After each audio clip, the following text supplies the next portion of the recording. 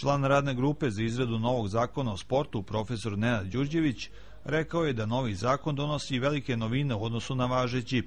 Njime će biti uređene brojne oblasti od ugovora između klubova i igrača, položaja trenera, do organizacije i načina finansiranja klubova, što je veoma važno u domaćem sportu. On je rekao da će privatizacija klubova biti regulisana posebnim zakonom. Ovaj zakon recimo donosi novinu da je propisuje da nijednom klubu se ne može dati više od 20% sredstava koji su predviđeni za programe sporta u toj godini, a od svakog programa koji se finansira 15% sredstava mora biti odvojeno za sport dece. Znači, to je jedna od velike novina. Drugo, novina je da se obez...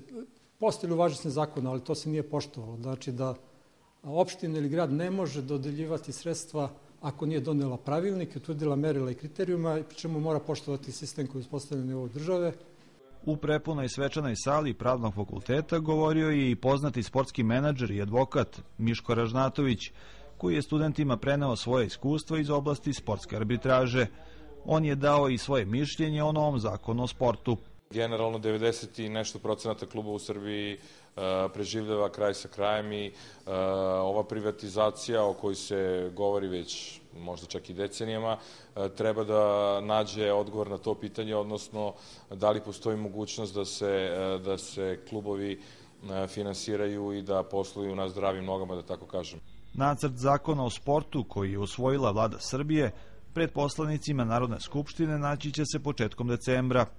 Očekuje se da zakon stupi na snagu od nove godine.